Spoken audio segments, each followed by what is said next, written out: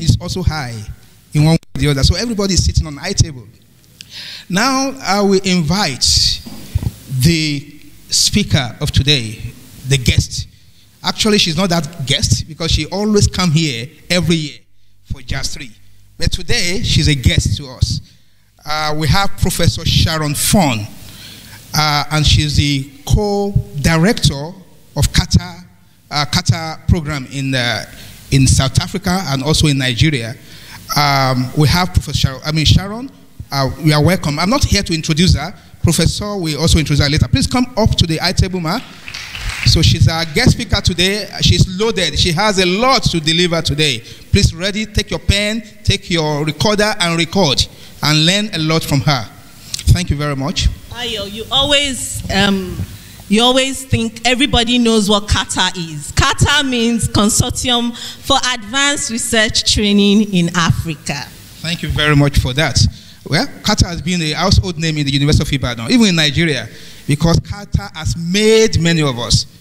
Is that not true? Yes. Yeah, so it's an household name. Now I will invite by protocol, we have uh, Professor E.O. Ayola, the DVC administration, Professor Oluyemisi A. Bamgbose SAN, DVC Research, Innovation, and Strategic Partnership. We have in the house Mr. J. O. Saliu, the registrar of this university, ably represented by Dr. Moro Mfoluwa Oyebola. You're welcome, ma. I had to say Moro Mfoluwa. She's very, very much proud of that name, and I love it. You're welcome, ma. So please, let's clap as she's coming to the eye table. Thank you very much. Next, we have Mr. Adewuyi Popola, the bursar. And again, we have Dr. Masi Iroan Ganachi, the university librarian, ably represented by the College of Medicine librarian, college librarian, yeah, medical librarian, Dr. Grace Ajuwon. You are welcome. So she's having double cap today, you know, on our own capacity as the medical librarian and also representing the university librarian. Um, now we invite the host, though the host is the, is the vice chancellor, but we are in the soil of the College of Medicine. We invite Professor Olayinka O. Omigbodun, the Provost College of Medicine, ably represented by the Deputy Provost, Professor A.F. Adeniyi. You are welcome, sir. So thank you for hosting us. thank you. Yeah. Thank you. Yep. Informed that the bossa is ably represented by Mr. A.A. Adiago.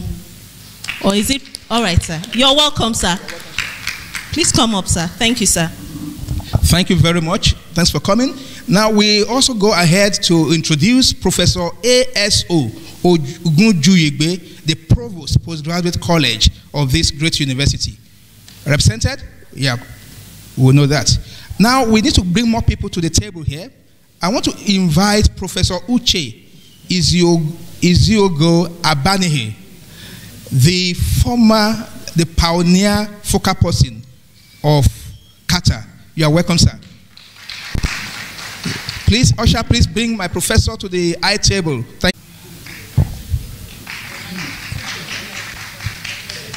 Tuji Odedele, apology, I should not forget that name. Mr. Odedele, you are welcome, sir. Thank you. Okay. Yeah, I'm also Professor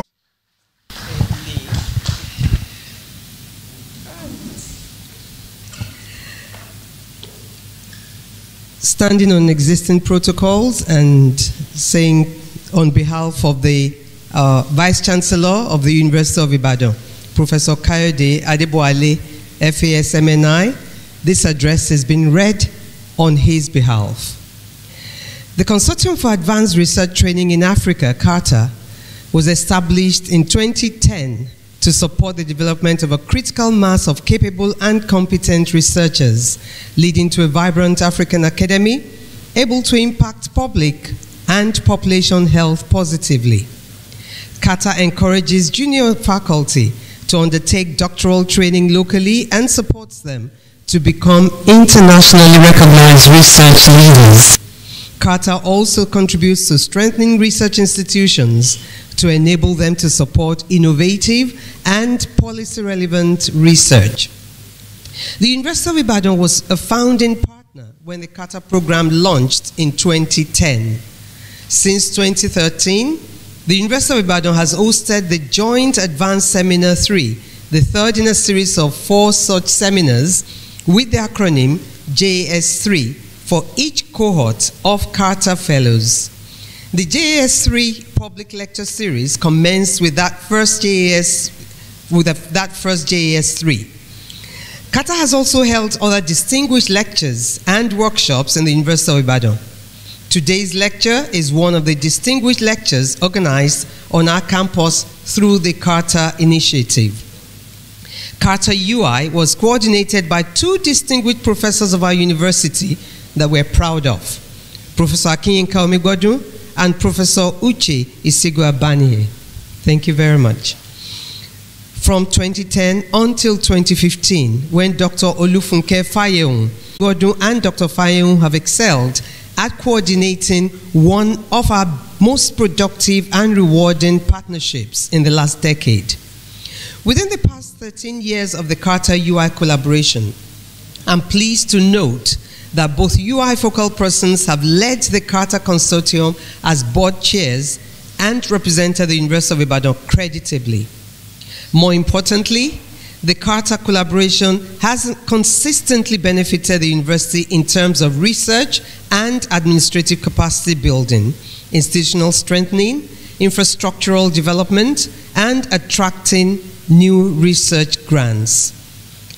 On research capacity building, an estimated $3.6 million from the consortium has been invested in supporting 36 UI personnel for doctoral training over the past 12 years.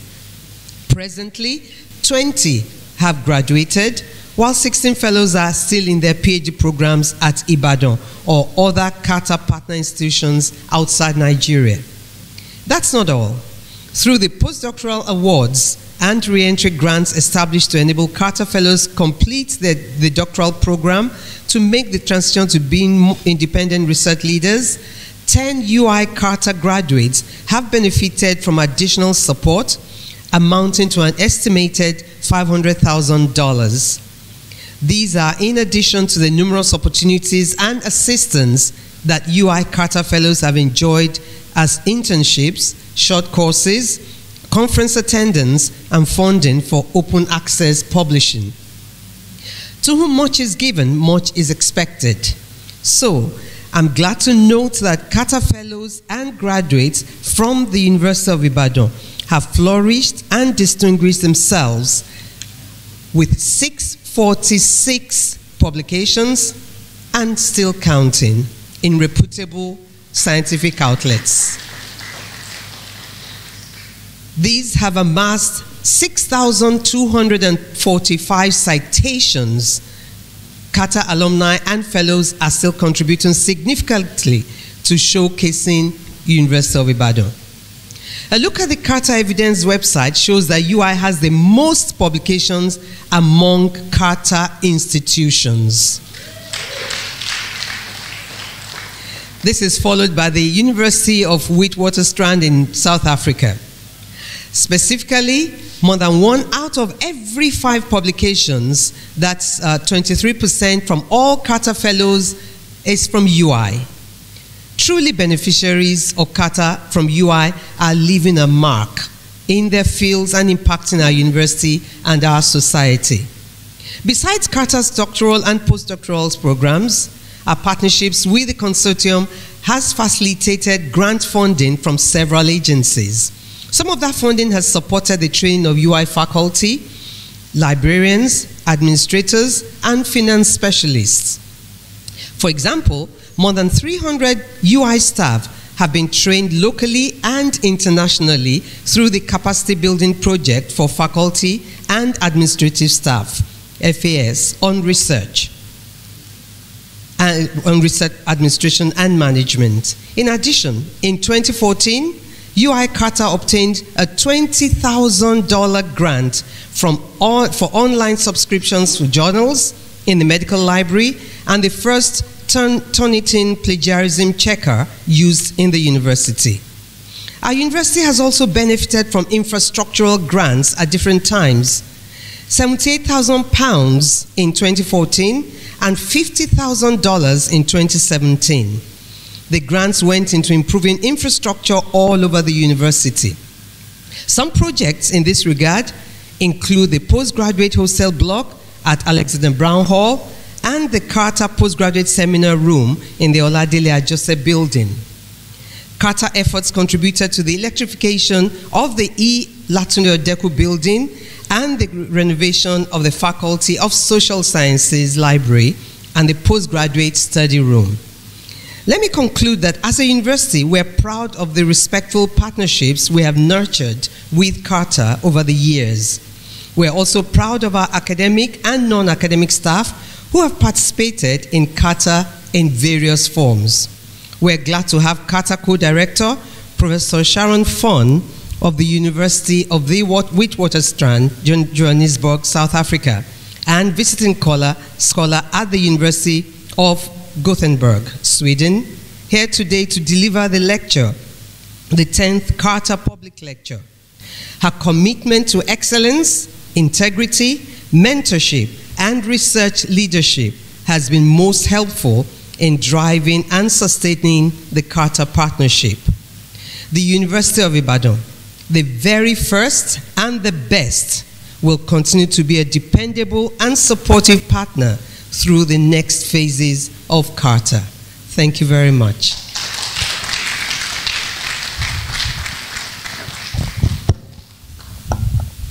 Thank you so much, Ma, for your the chairman's opening remarks. Um, we'd like to recognize um, a few more dignitaries.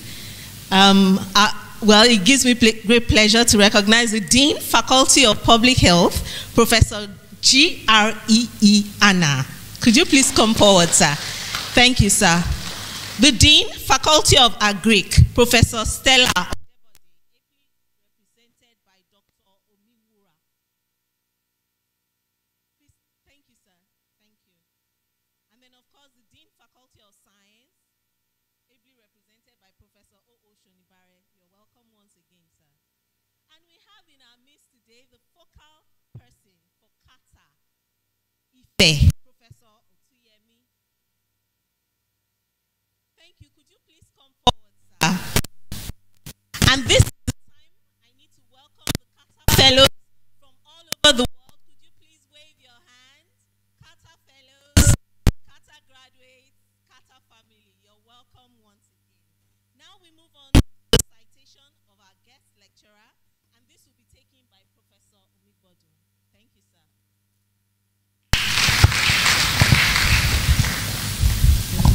Thank you.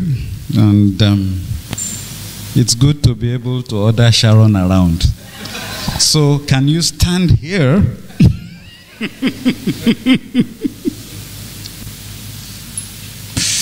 yes, where they can see you. yes, Professor Sharon Fonn, um, co director of the Consortium for Advanced Research Training in Africa. Is professor at the School of Public Health at the University of the Witwatersrand in Johannesburg and currently visiting professor at the School of Public Health and Community Medicine at the University of Gothenburg, Sweden.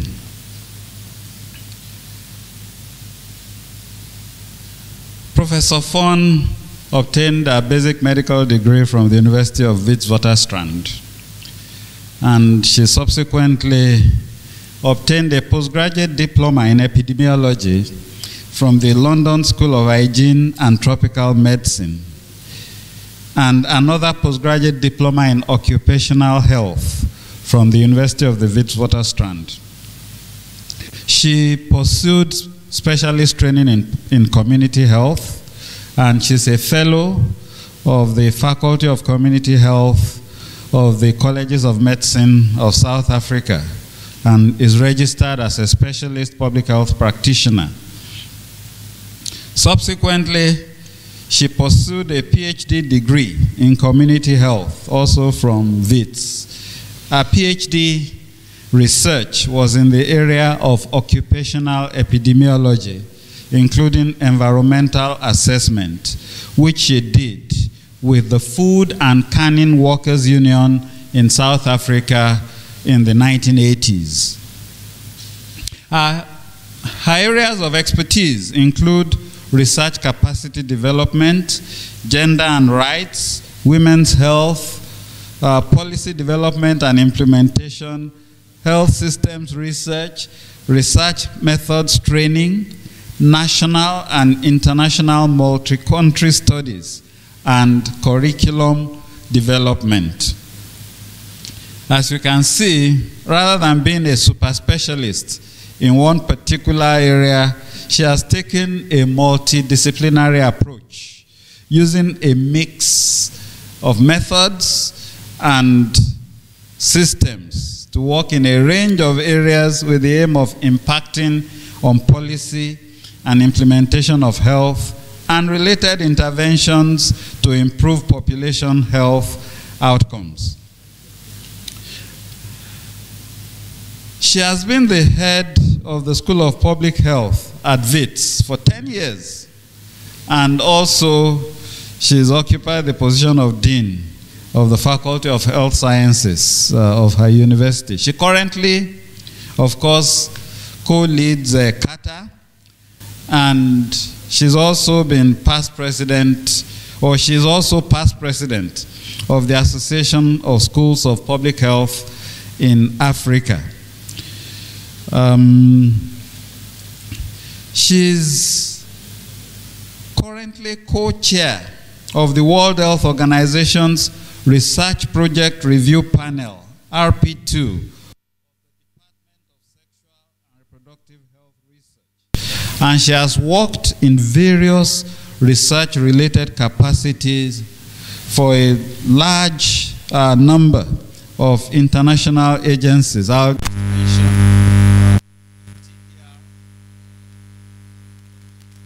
HR in WHO, the World Bank, the United Nations uh, Population Fund, uh, DFID, the Swedish uh, International Development Agency, uh, as well as the National Institutes of Health of the United States.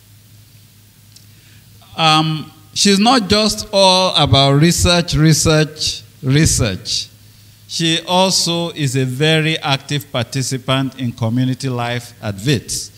And she served um, on the University Council at WITS from 2013 up till 2022.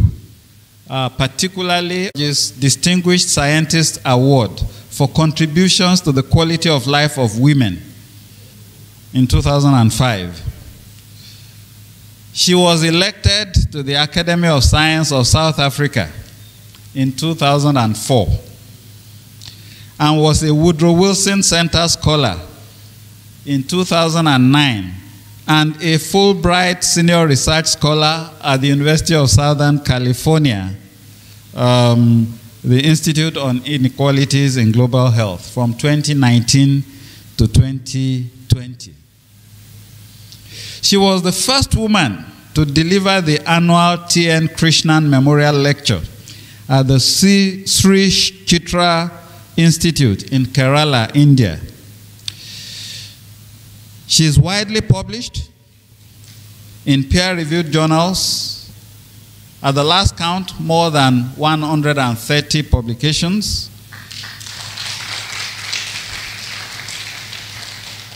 But more importantly, she's not just writing for a scholarly audience or for the academic community. She has produced many lay educational publications consistent with her belief that academic knowledge needs to be widely distributed for all to access and understand.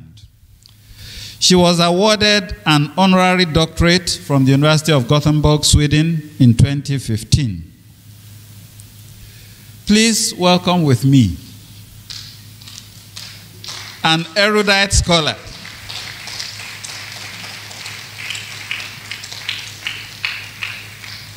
Super driving force behind CARTA and quite a number of other initiatives that have turned around the face of academia in Africa. So it is not a surprise that today she will be talking about academia and she will be looking at it from a public health perspective. Professor Sharon Fonn.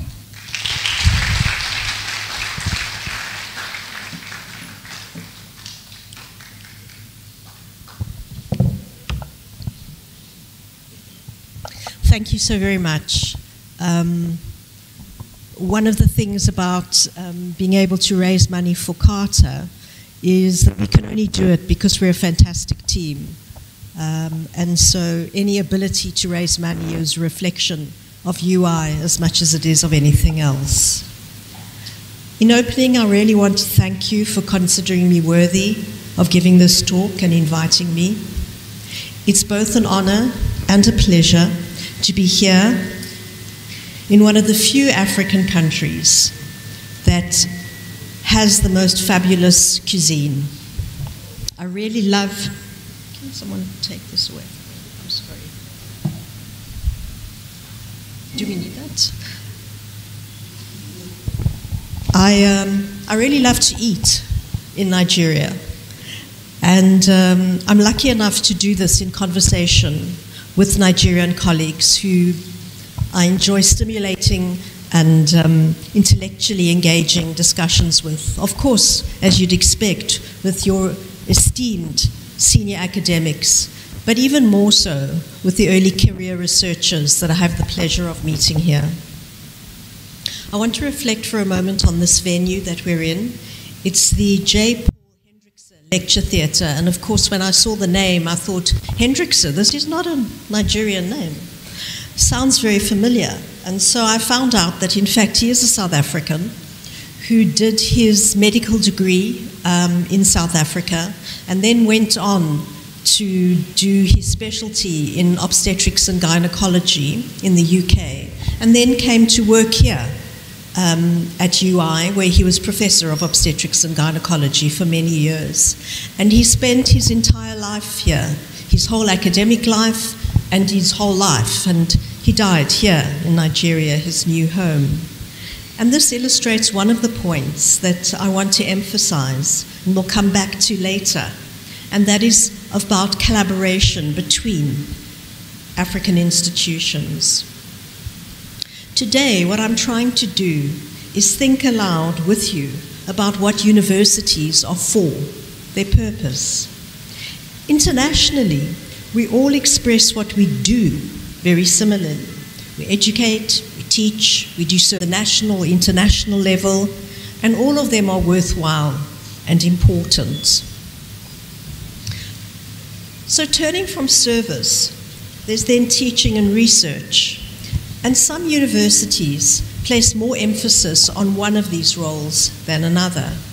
And I want to say that I think that that's very appropriate. A differentiated higher education system is actually a positive thing, which allows countries to meet the variety of national needs and allows it to offer the range of to have universities that offer degrees at the bachelor and master's level. We need an educated population. These graduates can and do work in many governmental and non governmental institutions, in business. They become good teachers to teach in our schools. They become educated and smart administrators to run many institutions in our society, including running our soccer federations. Although I will say I'm a little disappointed with the South African Soccer Federation. I don't think we've crowned ourselves in glory, and you always, always beat us. We also need research intensive universities to do research and research training. These research intensive universities produce our PhDs and should be home to African and to international postdoctoral students. Such graduates will be the people who will continually renew our, our research intensive universities. They should also staff all our other universities, our TVET colleges, as well as taking up many other roles in society. So, this is what we do. However, oftentimes we don't do it that well. And when that happens, I would argue that it's a result of many things, but two important things that I think are both fixable. The one is we don't always give the jobs, the teaching posts, the heads of institutions to the best candidates. Appointments are not always based on merit. And this is true in South Africa. It's certainly true in conversation with my other colleagues in the rest of Africa.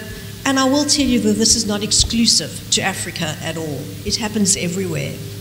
But I want to tell you that we can choose to change that. And that's one of the things that we should be doing.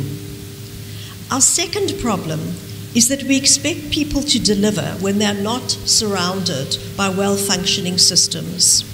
To have a good higher education system, you need a good, edu- you need a good education, an entire education system, from preschool all the way. To be effective in higher education, you need to have functional support systems, fit for purpose rules and regulations, good HR and IT systems, and functioning infrastructure. Administrators, while often not acknowledged and recognized in the way that we academics are, are essential to what higher education institutions can achieve.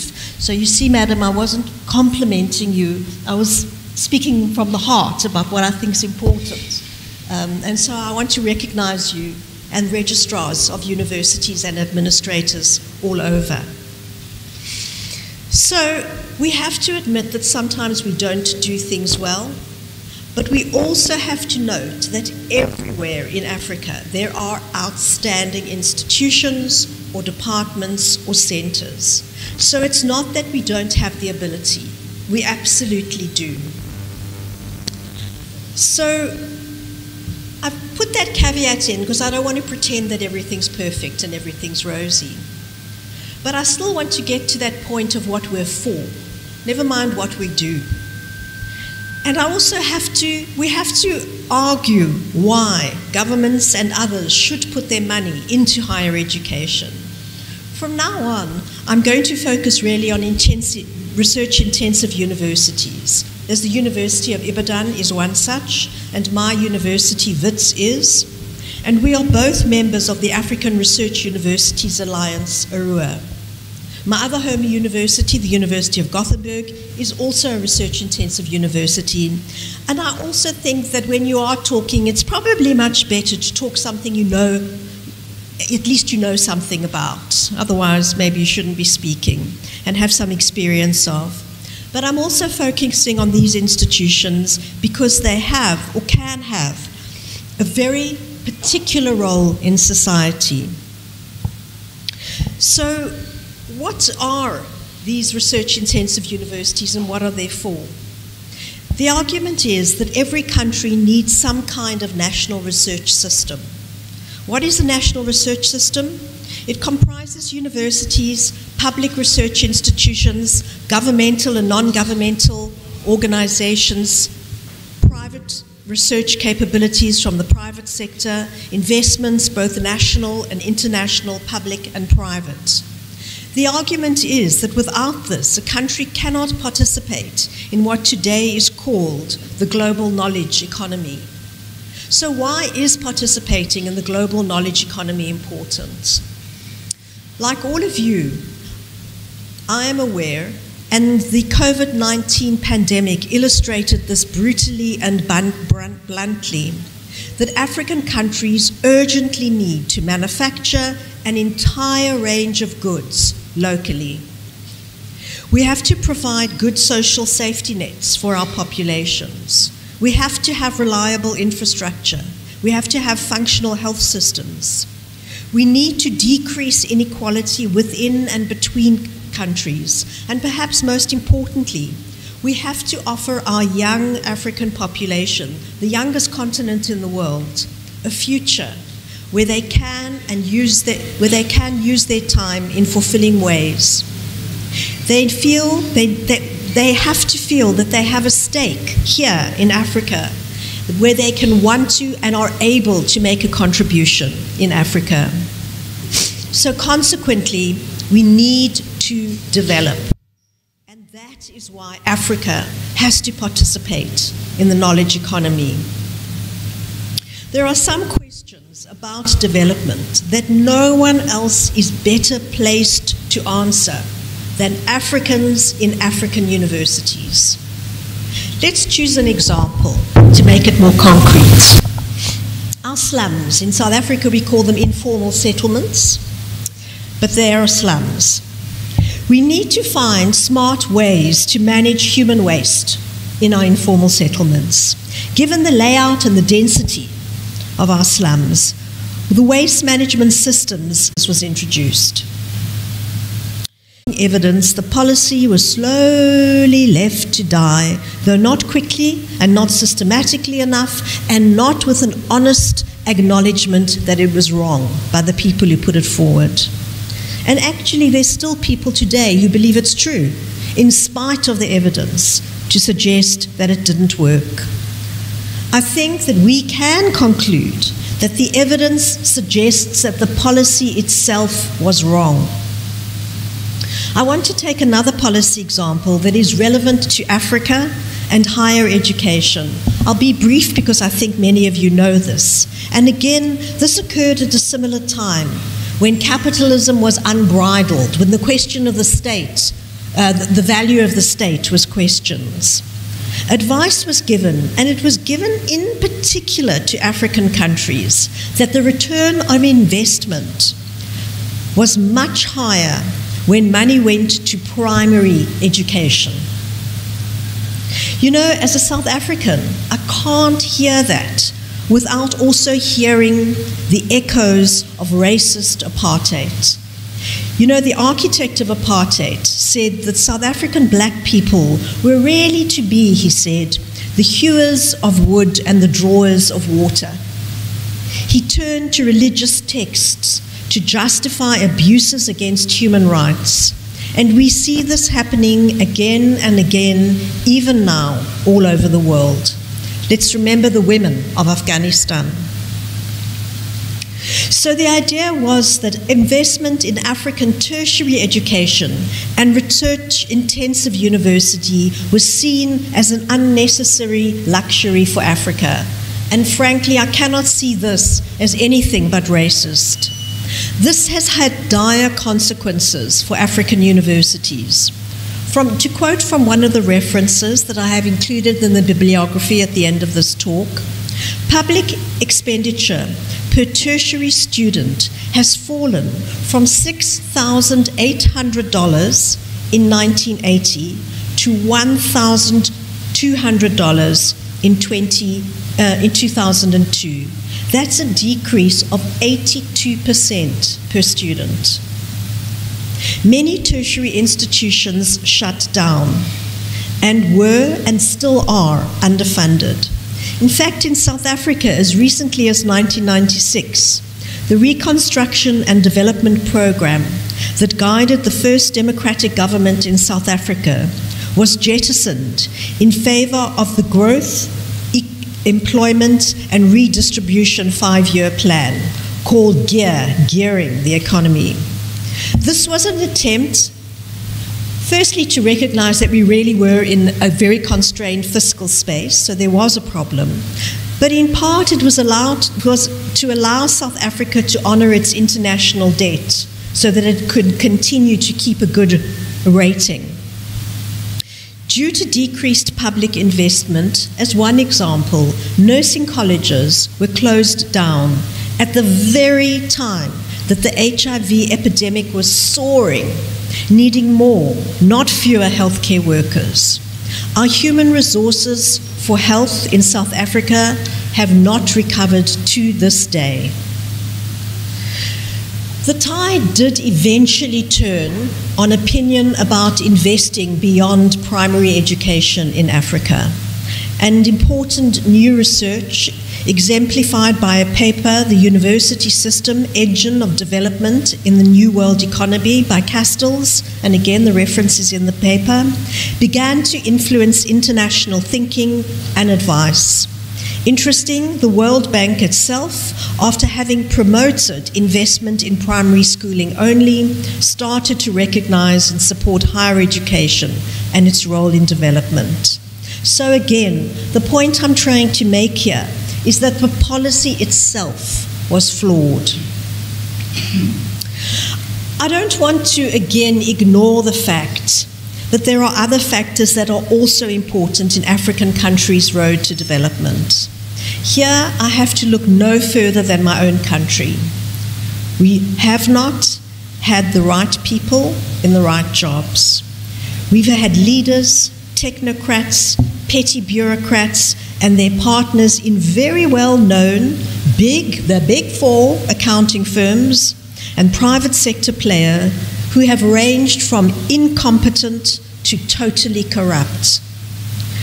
And for those that have tried to do a, do a good job, they have been stuck in a dysfunctional system which hampers their ability to deliver. Some who have tried to expose corruption have had their lives totally ruined and some have been murdered for doing this. I have to stop and remember at least one of these people. Babita Deokaran was a woman who worked in the finance department in the Gauteng Department of Health, a province in South Africa, our richest province. She had found approximately 227 companies involved in likely corrupt dealings with the Department of Health. She exposed a 1 billion rand corruption at Tembisa Hospital, a big referral hospital in the province. She was killed in a hail of bullets in her driveway after dropping her child at work for working with the authorities to try and expose this corruption. So let us at least acknowledge that even if we did have the right policies, in some cases they might not have succeeded. Because of vested interests. And these vested interests are not only in the public sector, they are in the private sector too. And we have to question our values. So, so far, I've opened up the conversation about what universities are for and put on the agenda that our institutions, our universities, have a role to play in the development of our countries. But is there any evidence that universities do contribute? Are they important to development? A strong correlation association has been found between higher education participation rates and levels of development. But we have to ask ourselves which came first, the chicken or the egg? Using information from a book by Nico Cloete, the university and his, and his co-authors, Universities and Economic Development in Africa, published by the Center for Higher Education Transformation in 2011. They claim that there's increasing evidence that high levels of higher education in particular are essential for the design and productive use of technologies. So I come back to the point I made about what we need in Africa and we, what we saw exposed during the COVID pandemic that they pro- provide foundations for nation's innovative capacity and contribute, and this is interesting, more than any other social institution to the development of civil society. And if we are going to be able to hold our leaders accountable, we need vibrant civil society. And I hope it is true that universities do and are the most important institutions in developing strong civil society, it would make my life's work, and I think your life's work, feel much more worthwhile if we knew that, even if we might not see it immediately. In this book, they go on to describe different, how different countries have interpreted and used this evidence. Countries like Finland, South Korea, Singapore, Denmark, Australia, and New Zealand have placed education, knowledge, and information technology central to their development policy.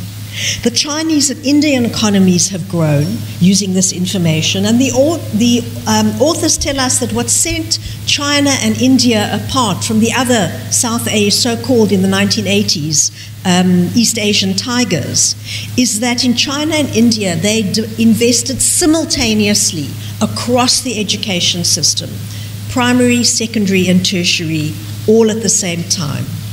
What I'm taking from this is that there is a relationship between higher education and development, but what I'm also taking from this is that we need to work across the entire educational system.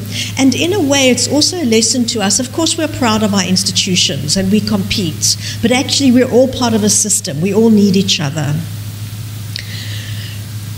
So, we also need it not because it's a nice to have but it's essential. It's essential because it's a way of every individual ultimately getting a better life and for nations to develop. So, what about research? Why is research important?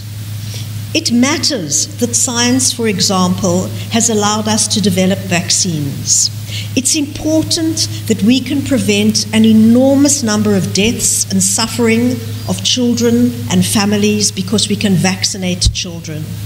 It matters that we have a population that is educated enough to be able to understand the benefits of vaccines and who are informed and free to make a choice to use them. It matters that we have economists who can do the calculations that indicate to government that even if it does cost money to make vaccines available, the benefits outweigh those investments.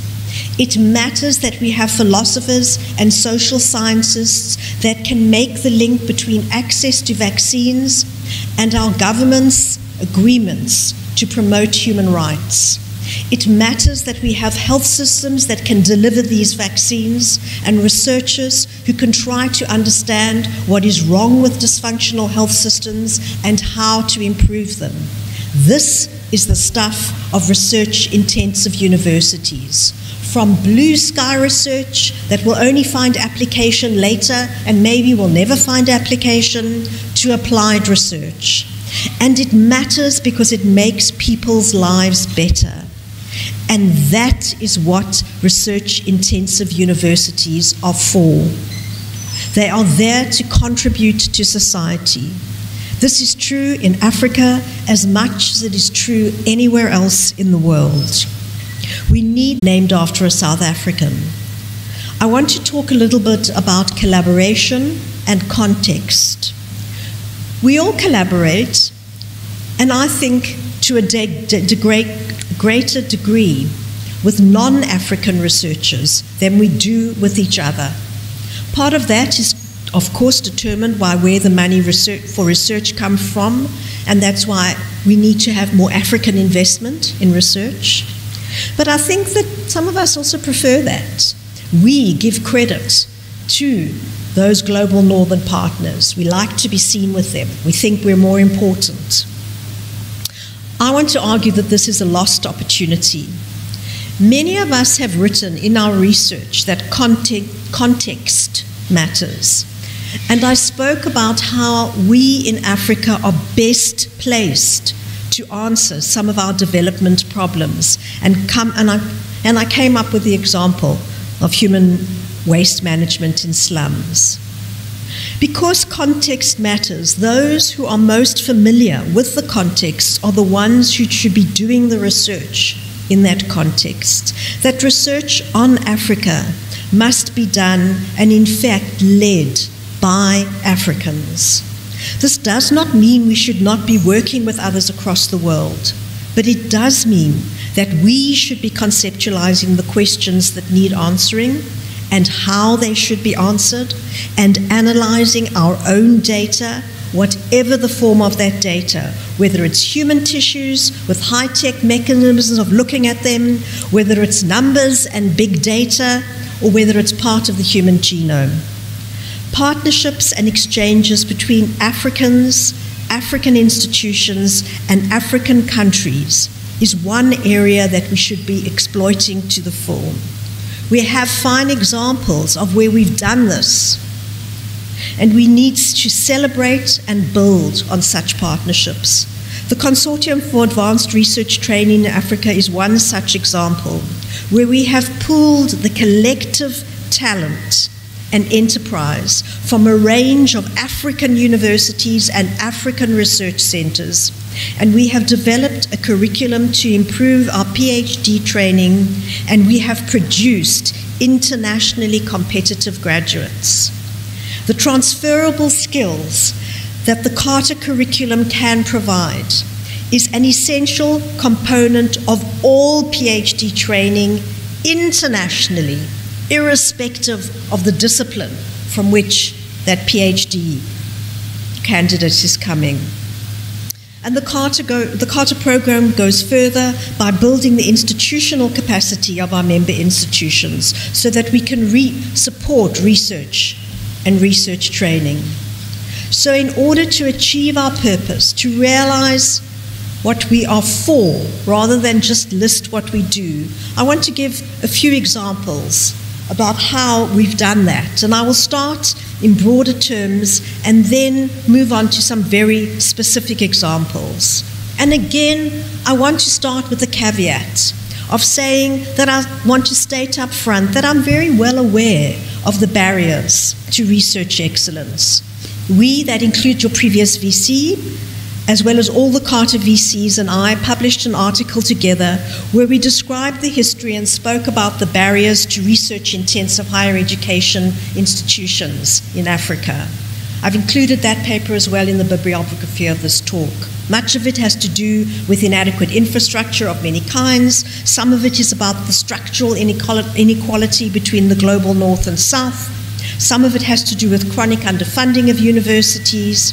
And talking about chronic underfunding of universities, I want to stop here and acknowledge the long standing and brave and what I think seems to have been a successful strike that everyone here in Nigeria um, endured, and the suffering that both the staff and students you stood together and you made the case that investment in higher education is essential.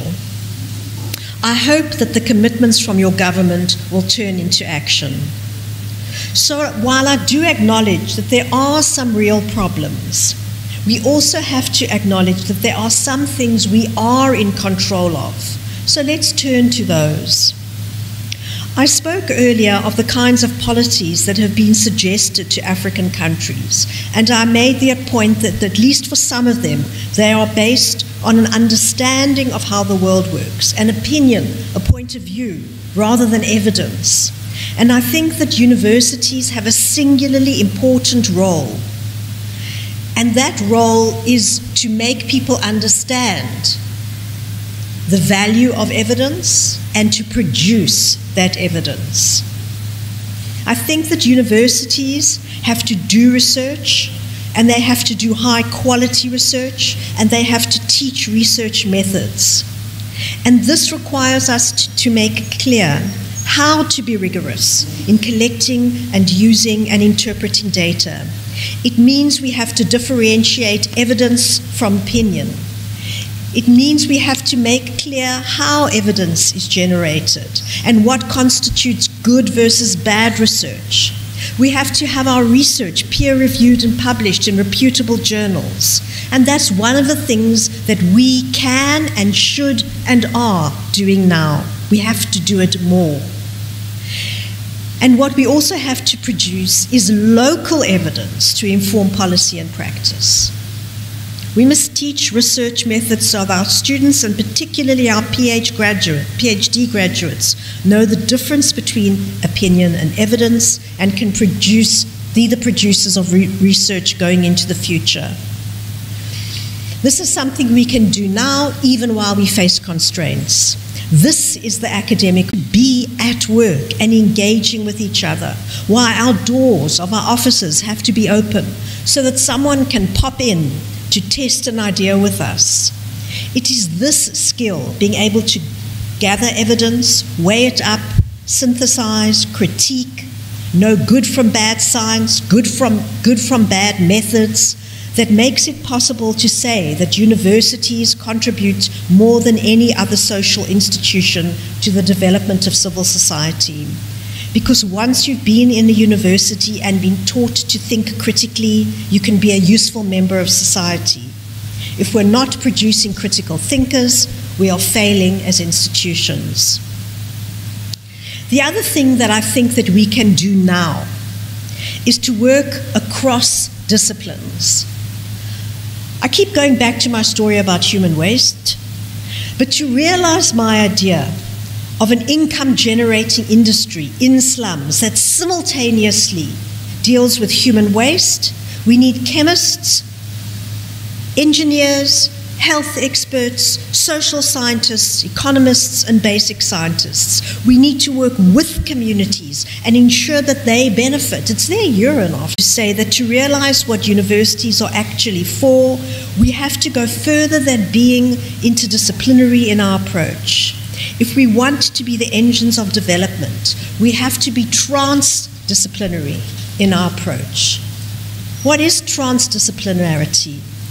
That is where not only do we bring multiple relevant disciplines to work jointly together, but we engage with stakeholders who have an interest in that area we're doing research in and the community that we are working with, and we engage with them to define the problem, to use their insights and expertise to design solutions, and where the ownership of outcomes and benefits are shared. And this approach illustrates again how universities can contribute to development and to greater equality. Perhaps this has been a bit off what you might have thought is a public health perspective. So let's get a little bit more health orientated. What are the biggest problems we still face in health in Africa? We continue with too high levels of maternal mortality. We still bear a huge burden of infectious diseases. And we have enormous and increasing burden of non communicable diseases. Many of these can be dealt with simultaneously with cross cutting social interventions. Research has shown that barriers to good maternal health care have much to do with physical access, getting to the places where services and quality care do exist. There have been interventions that can change this. Build roads, build social solidarity so that people help each other to get to centres. One of the factors that changed access to healthcare in one South African province had nothing to do in maternal health care particular had nothing to do with healthcare providers or technology. They just decided that instead of the ambulances being stationed at the referral hospital they transferred the ambulances to the periphery to the places where the people had to come from and they cut down by half the time it took for a pregnant woman in trouble to get to a service center where they could help her. So we have to start thinking outside of the box and outside of just tech- technological solutions. If you want to deal with deaths from diarrhea, evidence has shown that the single most important intervention is providing clean water. Not rotavirus vaccines, not all sorts of other interventions that require drugs or technology. If you want to deal with the epidemic of non communicable diseases, high blood pressure, diabetes, and in Africa, this epidemic is frightening. We've only just begun to see the beginning of it. We need a situation where the most accessible, widely distributed commodity is not Coca Cola. What I am saying is if we want to impact on health, we need to pay at least as much attention to the social and commercial determinants of health as we do to technology. And this is where I think public health has a very important role to play. I want to make this concrete and give an interesting example of one research university at a university and what it's doing. I'm using this example because it's an African unit set up by Africans, run in Africa. It is multi, a multidisciplinary unit which takes a transdisciplinary approach. It has used science, built evidence, and evidence base, and is engaged with stakeholders. And in a very short period, it's only, I think, maybe eight years old. I think in its first three years, it had already impacted on policy. And it's also building the next generation of researchers. And I'm going to tell you a story of just a small part of its work. The name of the unit is Priceless. And it's a research unit which I have nothing to do with beyond being in the same school, in the School of Public Health at Wits. And when I first met the researchers, they were doing work on stroke. How much was there? And how do you measure accurately the burden of disease? They found out the cost of stroke to the health system, and they used that evidence to talk to government about the problems of stroke. Now, you could say the best way to prevent stroke is to treat high blood pressure, because it's people who have high blood pressure who get strokes. But this is a story we, for those of us who are medical practitioners, know the story.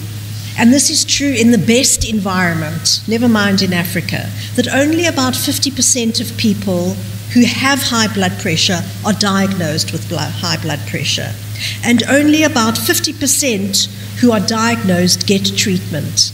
And only in about 50% of those who get treatment do we see good blood pressure control.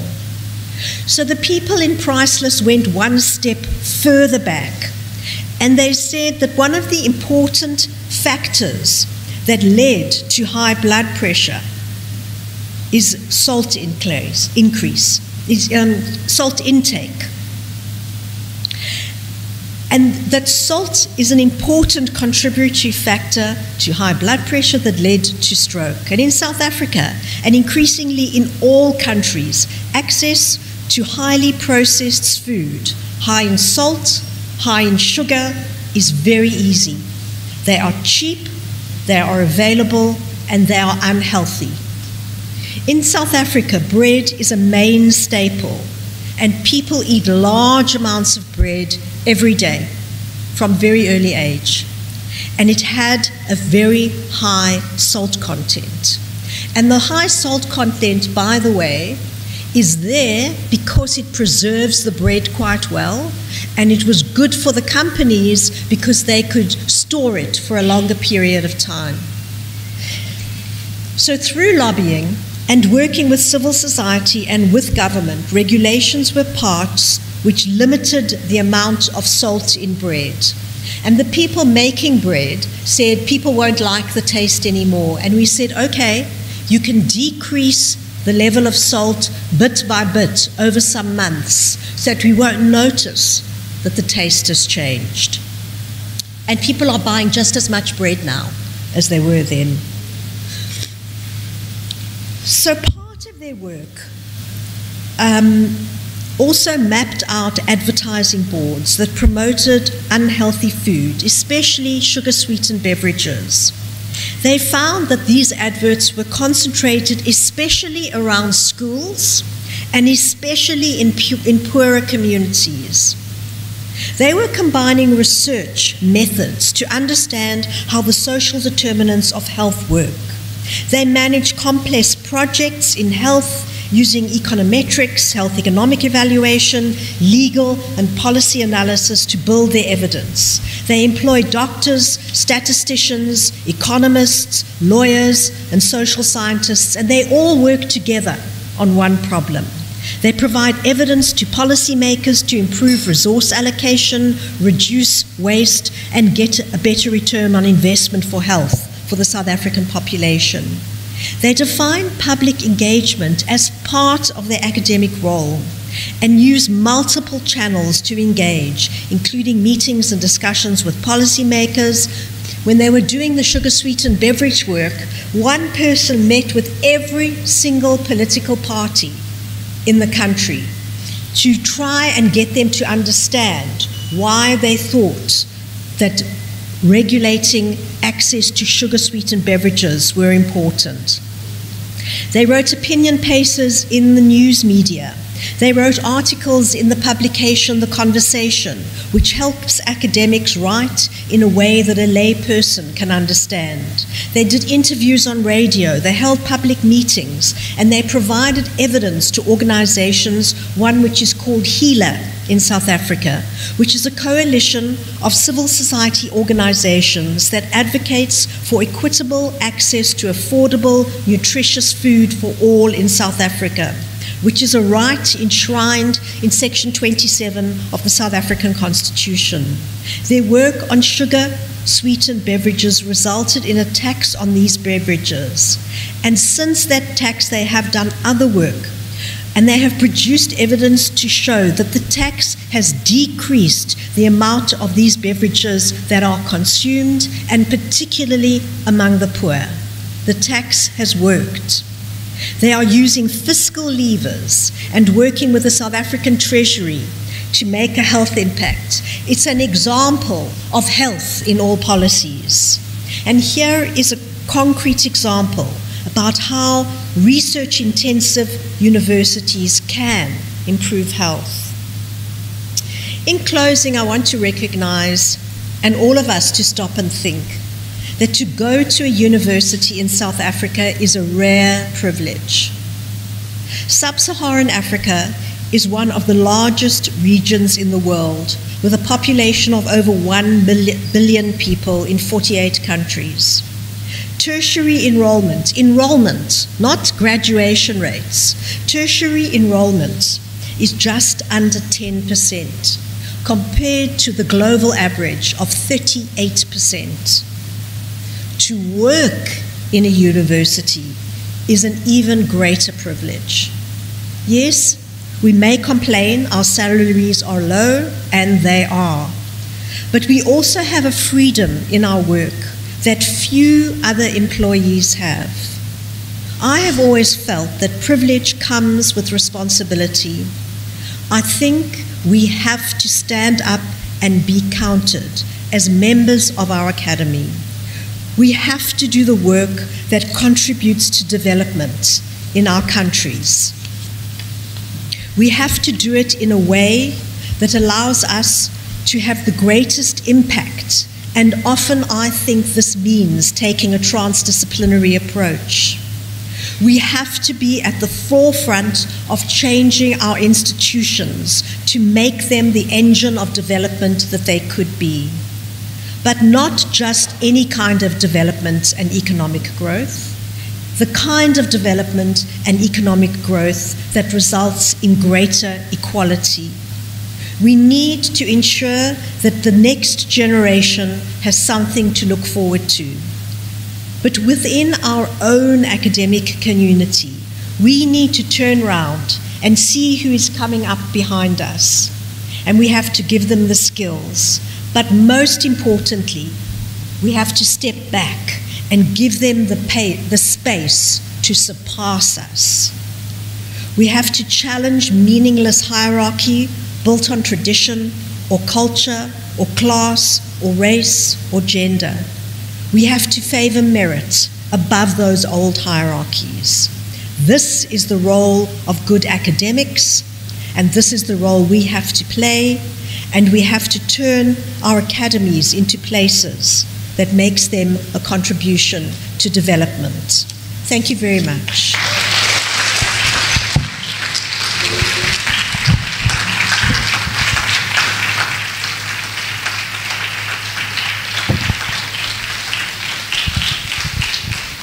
Thank you so much, Professor Sharon Fonn, for that inspirational and very thought provoking lecture. I just want you to know that when I grow up, I want to be like you. Thank you very much. This is beautiful. And I picked some words. It's to tackle complexity in public health challenges, working across disciplines, and engaging with communities is very crucial. And that is what CARTA is doing multidisciplinary. And she said further that inter or intra and interdisciplinary, all these are very, important. You cannot do it alone. For example, I'm from library communication science, but yet I'm also in public health. So all of us, we can do it together. Thank you so much for telling us what we do well, what we could do better, identifying the problems. You know, it was as if you had a checklist and I was ticking and ticking and ticking. And thank you so much for that. For bringing to our notice uh, the importance of research intensive universities, the importance of transdisciplinarity. I'm sure Professor Anna was happy when Sharon was talking about wealth to uh, waste to wealth. And it, it, was just such a wonderful lecture. I feel if we decided to summarize, you might be in for another lecture. So thank you once again. Great lecture that should be shared across the world, even to the Africans in diaspora. We need partnerships with the Africans in diaspora that want to build up our nations. And I'm so excited that you brought up the issues of the World Bank and the various uh, other initiatives of the um, of the Western economies in the ways that they have influenced the trajectory of our educational systems and said, okay, in the 80s, decrease the funding for education and how it has affected our tertiary education, but also the role of the academy in coming back to say, look, we need to invest more in tertiary education. We need innovative ways to massify education. Transdisciplinary research is extremely important because there are ways that we can ensure that people can even become literate using simple things like technology of tablets, putting books, making them available to young people in rural areas, using solar technology, working with the philosophers and the social scientists. There's so much to digest with this. Thank you so much. I'm really excited by what I've heard. Thank you, Ma, for your comments. While we're waiting for other comments, comments. Um, please check, um, we have some viewers online. Please check if there are any questions as well. We have over 50 people watching this online. And the very good thing about it is this you can also visit and watch again. So we are there so I can learn from what we've had today. Questions, comments? All right, sir.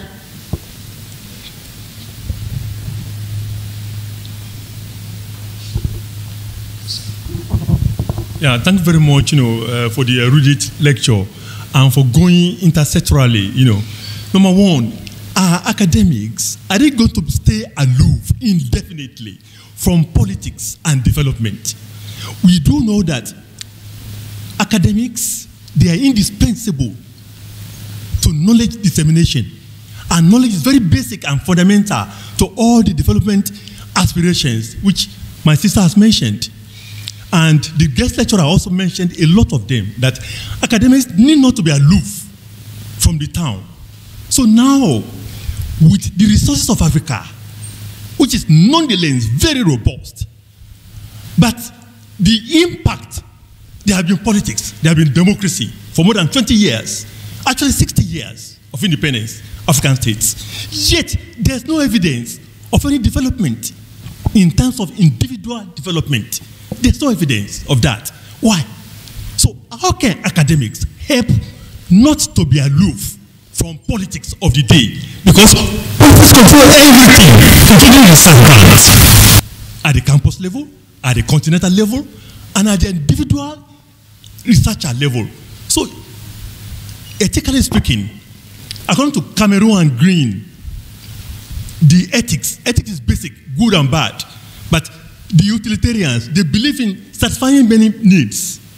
The deontologists, they believe that any act that is not ethical is not good. The consequentialist, where we can actually box the so-called corrupt people. I don't even know whether everybody is not corrupt too. Because before, because we are watching corruption alone, we are part of corruption. Because we have means and ways. Okay, politicians, they flow from your power of voting. But most people now, you can, you can discourage me, you can, you, can, you can disagree with me. After 14, Africans are very agile in voting. After 14, they kept aloof. So when they got the power, they have access to treasury. Then politics control everything. They also control the economy and the treasury. So how many continents, how many years and generations are African academics going to be watching? You know, the politicians. And most politicians, they also flow from academics, pastors, lawyers, and so on. So the advanced countries and the developing countries, what's the difference? The only difference is that they have better follow up by educated people. Okay, see, UK and US and Africa here, UK and US, they are better, they've changed PMs three times in three years in UK. Because politics is complex. It's not that they are more competent and more less corrupt than us. So please, don't let academics be indifferent to politics. Then again, more academics should be very, very, very, you know, grassroots oriented. Because, like I'm saying now, I have a lot of raw material shared on LinkedIn with 91 articles in less than 10 years. And I can let you know one such one I saw on the road the day I didn't go out at all as a writer. All right. I saw two, uh, see, please listen. Thank you so much, sir. Yeah, Could you this round example up so really- we can have other people Okay, okay, comment? okay, God bless. Thank Okay. you for identifying the Thank you very much, and the need. Even on the YouTube, you can go and also put more comments. as a place to put comments so I can read more. Thank Yeah. you so much for A that. CARTA fellow also want to give a comment from here. Please, could you introduce yourself before um, commenting so we know who we're talking to? Thank you. Thank you very much. Um, I'm Dr. Yinka Adefolari. Uh, Professor Sharon, thank you very much for that uh, inspiring lecture. Um, I don't want to repeat what, what others have said, but my opinion or what I want to submit, it might be relevant for the future, is that African leaders, it's good that the lecture focused on the academia and the policy, but our leaders in Africa, if we are to do collaboration and, um, I mean, research and development, our politicians, our leaders need also to be lectured. And I want CARTA to also look at this side for the future where we can target Afri- rich African leaders and enlighten them. And uh, maybe have an institute where African leaders can pass through, African aspirants, I mean, leaders that want to go into uh, politics can pass through a school, a school where they can, I mean, reorientate them how to use policy, uh, the science, evidence, and all that, because that is a very huge gap. People come from their From the farm, they contest, they win an election, they become president, they come from cattle rearing, they become leaders, you know, from different, no school to pass through. That's a missing gap. So if CARTA can look into this in the future, it will strike a balance because the funding also has to come from Africa. We cannot develop, we depend on the developed countries all our lives.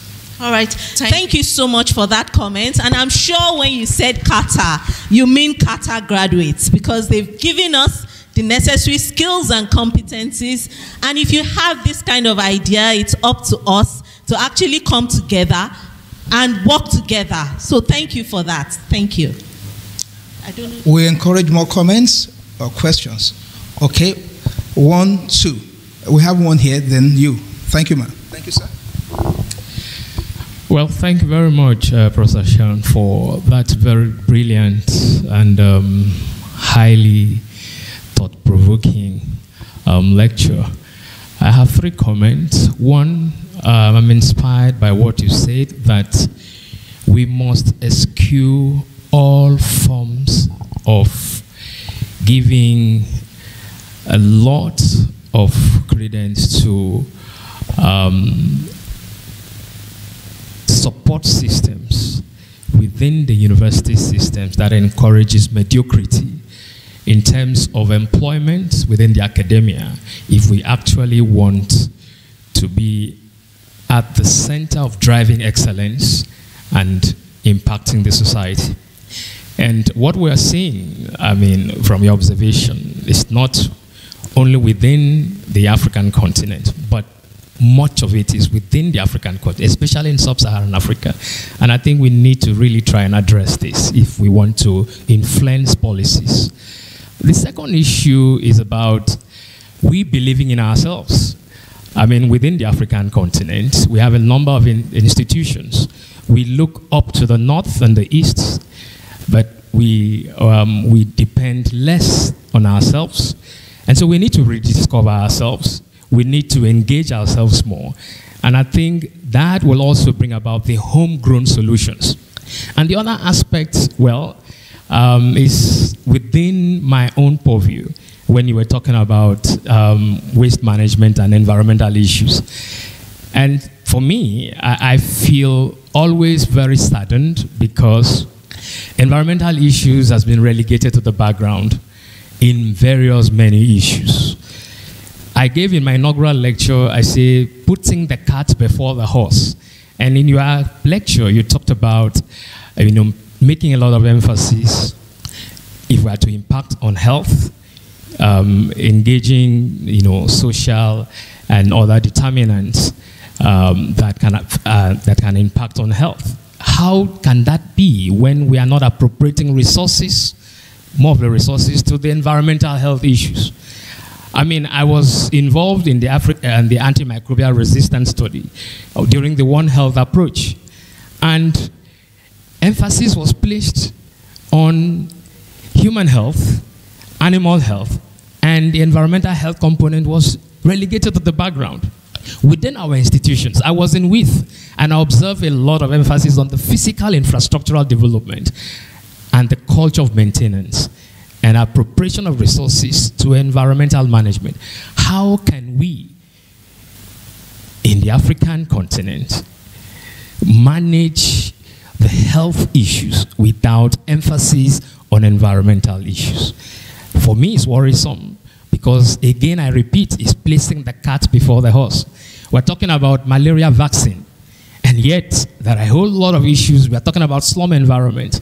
We are not appropriating resources to the management of the slum setting, housing environment, provision of water supplies, and then even sanitation issues to be able to tempt the tide of vectors. So these, I feel, with your influence and all other leaders, we should be able to place a lot of emphasis on environmental issues. Thank you very much.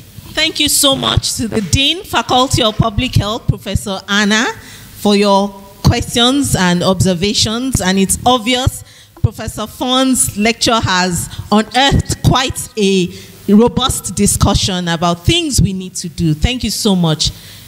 Dr. Loloruma. Thank you very much. My name is Funmilola Olaolorun from Community Medicine. Thank you, Professor Fonn, for inspiring us. You talked about impediment. Was presenting, and then the, minister, the, the president was asking minister in charge of ICT, what is happening in your, in your ministry? Uh, because the evidence shows that we are not working.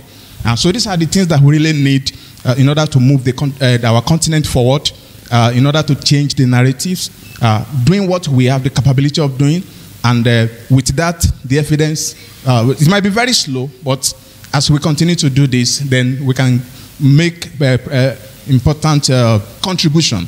And I also like the point that you raised that uh, universities have no business existing if we cannot produce thinkers. Uh, so putting thinking back to the PhD, not just uh, producing those who are not able to think, because that is what research intensive universities are meant to achieve. Thank you very much. Thank you so much, sir. Thank you, ma. Okay. Okay. Uh, thank you very much, um, Sharon. Um, I've, I guess I've known you for some years now, and I can really testify to that building uh, at the Wits uh, University in which you actually um, got funding for, and that has been really an inspiration to some of us as to how to move things around. I, actually, I'm Professor Ikelu Akwajayi, the director of the Institute for Advanced Medical Research and Training here in the College of Medicine. Um, I want to move away from, let me say, research and uh, to look at who you are as a person and your interest in women's uh, development. I think having you at this uh, pinnacle of uh, academic career is a very uh, important thing to women and uh, young women who are coming up in academics. So I, I would like you to sort of uh, provide some hints to women as to how to move on with the academic career and then move on uh, in their own lives as women. So, sort of a mentoring, a role model uh, kind of way to help our women, especially the young ones uh, that are coming up. And I also want to say that the funding issue is also very crucial in this present day of Africa and more especially in Nigeria, in which uh, every uh, department, every faculty, the university is being asked to go and look for funding. This was not the case some years back. It was the government. But now go and look for funding in an economy that is dying.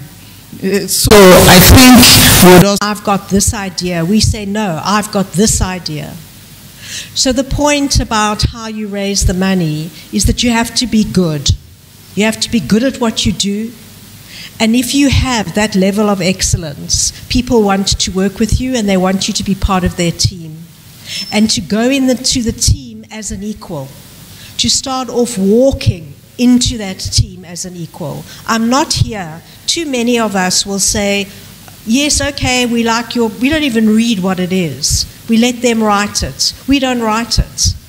We don't argue about it. We just say, whatever it is, I'll be the co signatory, I'll be the co PI. That's got to stop. We've got to be directing those researchers. Increasingly now, more and more of the funders are starting to think about putting their money directly into Africa. They can only do that if we stand up and be counted. If we, when there are calls, we put in quality applications. And the other side of it is that our institutions have got to be able to manage and account for that money. And so we've got to improve our systems and our responsiveness to that. But mainly, it's about being good at what you do. And when you say you're going to write a draft, you write it. You write it well. And you write it in the time that you said you were going to write it in. You're not late. You're not slack. You're not someone who does a, a poor quality work. Um, those are the kinds of things that I think people respond to and, and get you into a driving seat. Um, and in a way, it's a bit of an answer to the question about women. Um, you know, I had a funny experience when I was um, made uh, head of the School of Public Health at WITS. It was at the time of, of transition in South Africa, and um, I remember my dean saying to me, I said, Oh, I just got this role because I'm a woman, um, because they wanted more women. And he said to me, Firstly, that's not true, but let's assume it's true, prove them wrong.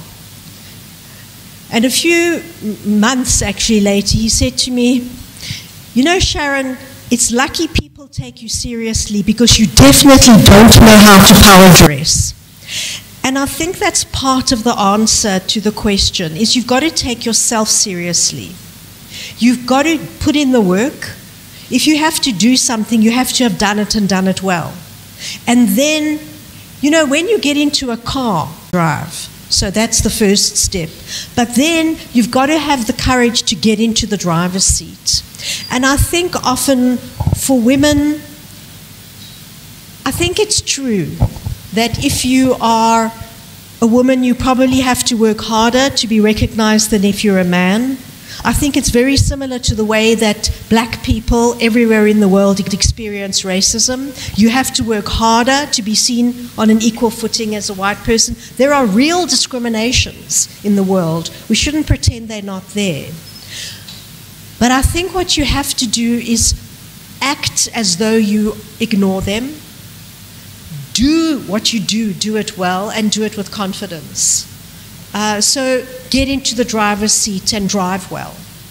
Um, and, and that's a way of doing it. And then the personal side of it is complicated.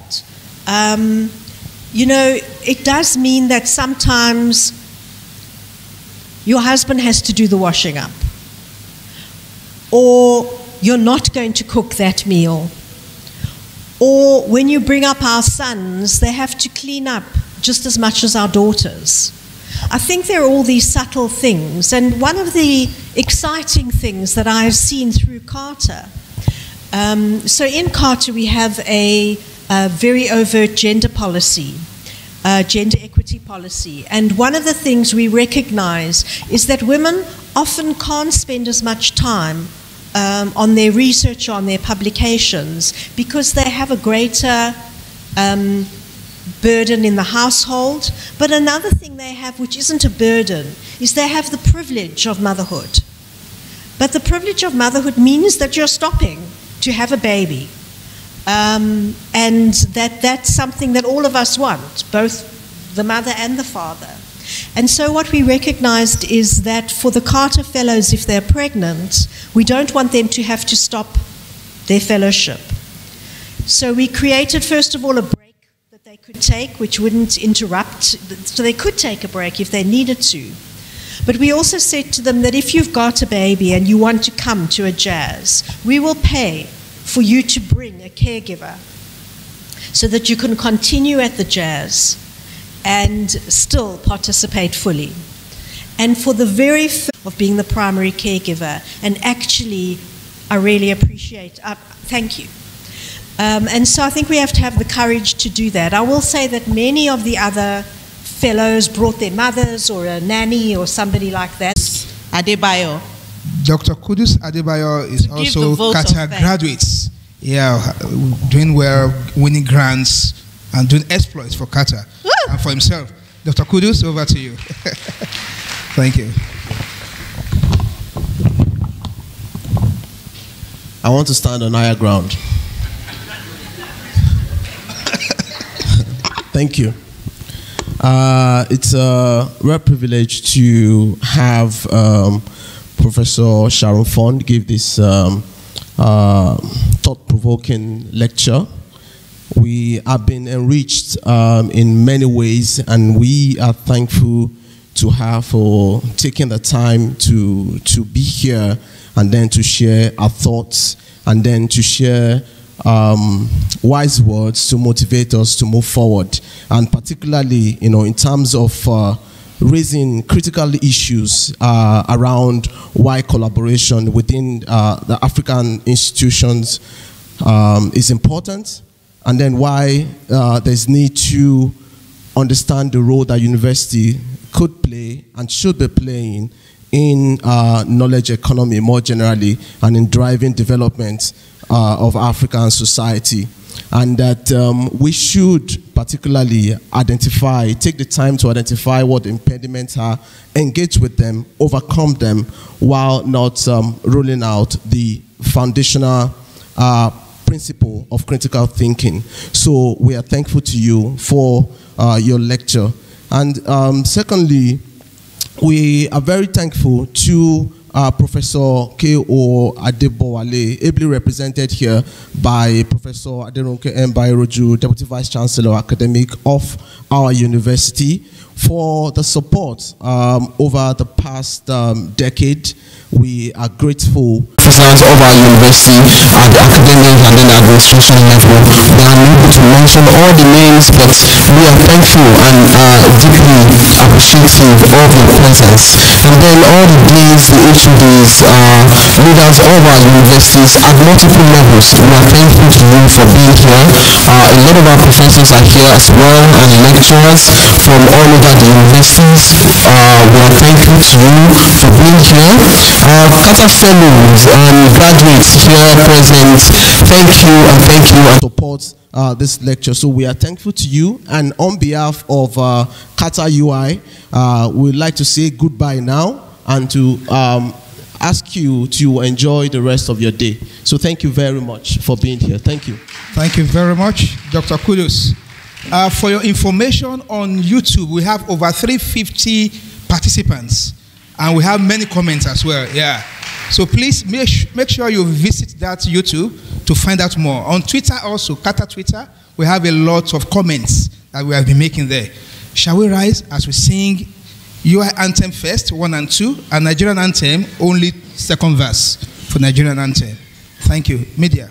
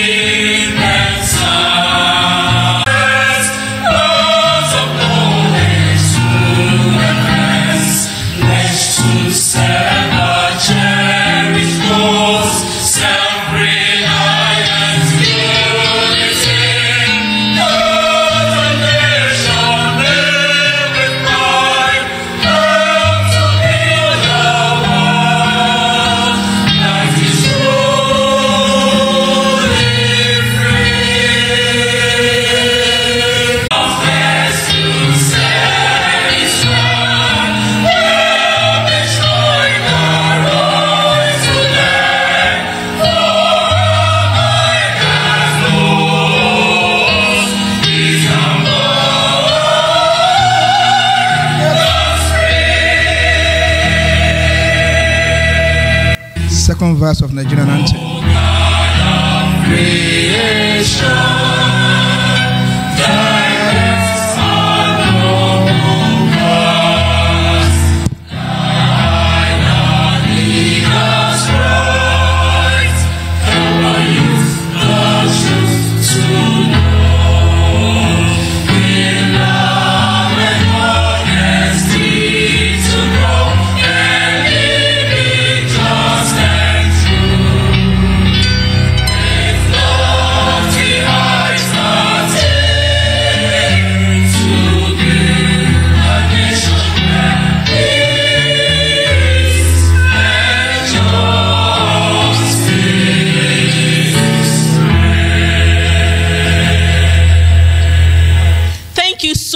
Much. With this, we've come to the end of the 10th annual Consortium for Advanced Research Training in Africa, CARTA Public Lecture, ably presented by Professor Sharon Fonn. The role of academia in society, a public health perspectives. Have a great day, all. We now come for pictures. Thank you very much.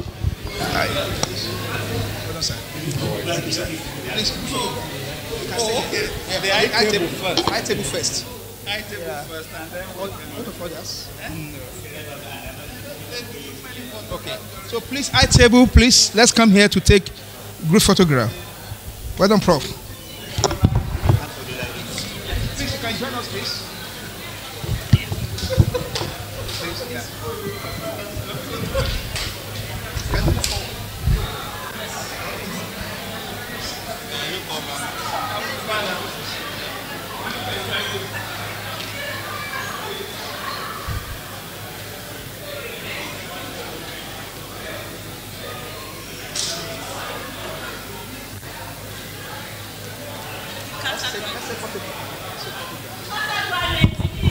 CARTA graduates, please, you can come here so I can take photograph as well.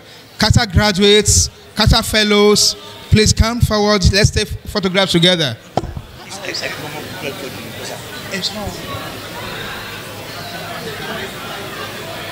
CARTA fellows, CARTA graduates, please come forward. Let's take group photograph together before we go for the other parts. Thank you. Yeah. See this man. Please, CARTA. Oh, I thought you knew. No, I, I said that.